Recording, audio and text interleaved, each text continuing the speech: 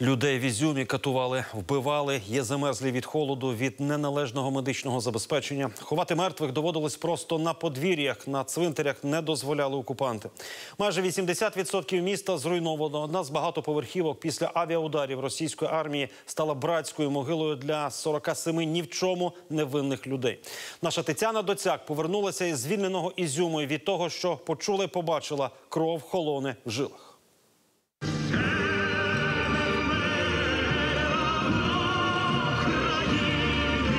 На центральній площі Ізюма захисники України підіймають синьо-жовтий стяг на церемонії. Президент Володимир Зеленський. Жителі міста кажуть, коли побачили наших військових, подумали марять.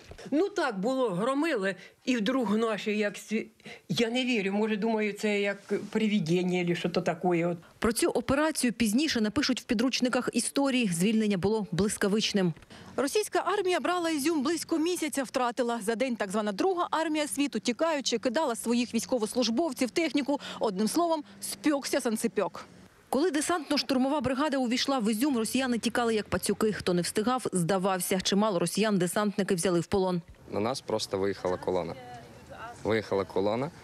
Ну, ми думали, що там е, важка техніка, але це були два КАМАЗи з піхотою.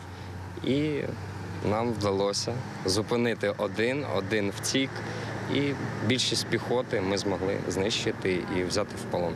Від російського санцепьока лишилася груда металу, а ось ця Т-80 тепер служитиме українському війську. Тепер це трофей Карпатської січі, або, як жартують військові, російський ленд-ліз. Це то це трофейчик їхній. Вони його залишили, так як в них не було палива. Е, Наші збройні сили вдарили по їхнім складам паливним і по БК. І тому вони лишилися без нічого.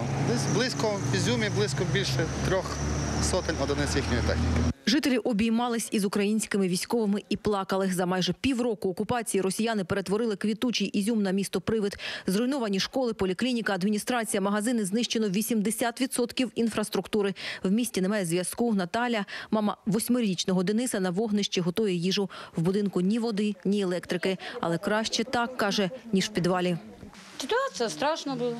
Очень страшно. Ребенок заикаться начал первое время Ну, Потому что эти прилеты постоянные. Не поймем уже, мы не знали, что это летит, самолет или это Три что месяца оно летало из подвала здесь. не вылазили вообще. Мы вышли из подвала в середине мая, да? Саме по Ізюму з усіх українських міст росіяни випустили найбільшу кількість ракет, майже пів тисячі, накривали реактивними системами залпового вогню. Та саме винищувачів жителі боялися найбільше. Квартира, другий етаж, другий поверх.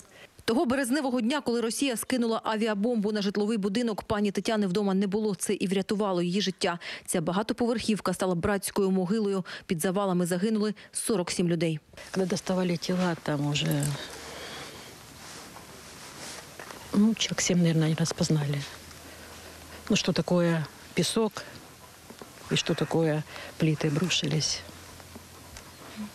Там мало было похоже уже на человеческое тело. За час повномасштабної війни росіяни вбили щонайменше тисячу мирних жителів Ізюма. Це свідомий геноцид українців. Анатолія два дні катували в підвалі за те, що в комендантську годину вийшов з підвалу на вулицю. Останавлюється Урал з ОМОНом. Що ти здесь робиш? Я говорю, в туалет иду. Нас двоїх забрали. В яму? В яму, в, поли- в полицию. Поломаны ребра. Ось ця продавчиня магазину поховала шістьох рідних. Чотири загинули в багатоповерхівці. Племінника вбило уламком, а мама просто замерзла на смерть. А не було ні світу, ні газу, ні води. Вона в своїй хаті просто за місяць замерзла. І вона замерзла в своїй рідній хаті. І вона не стара, їй 75 років. Поховати на цвинтарі маму не дозволили, розповідає жінка, і це було не виключення. Всіх померлих російська армія примушувала закопувати на подвір'ях будинків. І лише за кілька місяців наказали всіх викопати і перепоховати. Вчителька Тетяна Савченко показує місце захоронення сусіда Миколи. Чоловік покінчив життя самогубством, бо не мав ліків. Вот это вот место было захоро- захоронен товарищ. Вот его окна, вон они забиты.